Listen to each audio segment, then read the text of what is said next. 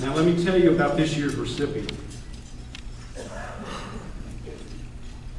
Born in Biloxi in 1942, this year's recipient has a distinguished record of community, state, and national service, highlighted by his having served two terms as mayor of Biloxi, 1981 through 1989, member of the Mississippi House of Representatives from 1972 to 1981, and a first lieutenant U.S. Army in Vietnam from 1967 to 68. He received his bachelor in law degrees from the University of Mississippi.